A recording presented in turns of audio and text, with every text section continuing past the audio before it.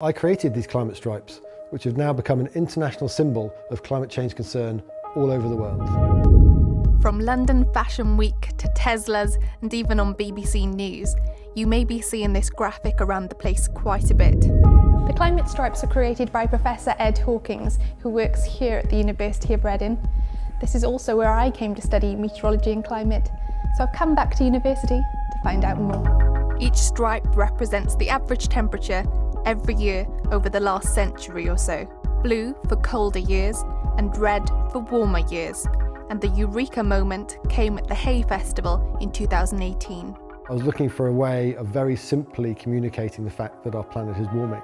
And so I made a set of stripes for hay uh, and I showed them on the screen in this way. And I could instantly see that members of the audience realise that something was happening and they could instantly visualise uh, the fact that the planet was warming and that was affecting hay itself and we've made them available for anyone to use and download uh, and communicate this message wherever they live. The temperatures will continue to warm, the colours will get darker and darker and darker uh, until that happens.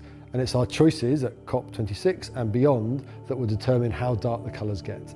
We've just taken a look at the climate over the past few hundred years, but let's take a journey further back in time, looking at thousands and millions of years ago.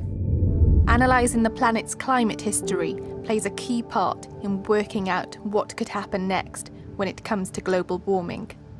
Understanding climates of the past, which have obviously been very different to today, is important so that we can understand the Earth system and understand what the implications of current climate change and future climate change are.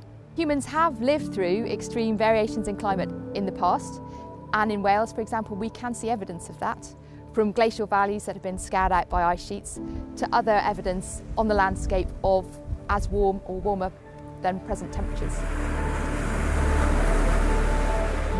What you can see over there is where sea level would have been, so that's where the beach would have been. So The evidence of these higher temperatures is clear to see at Fall Bay in Gower. We know that sea level is going up currently and has been for the last century, so we think we might see half a metre or a metre sea level rise by the end of the century, depending on our carbon emissions.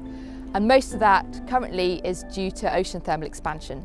But there's potential for ice melts in the future and that will contribute to rising sea levels. And we think that that happened in the past, so that is part of the reason why we see those reef beaches there from the last interglacial, so 125,000 years ago. And in a kind of drastic uh, climate change scenario where we don't reduce our carbon emissions, something like that may well be possible in several hundred years' time. And the difference from that past scenario is that climate change is undeniably being caused by us now.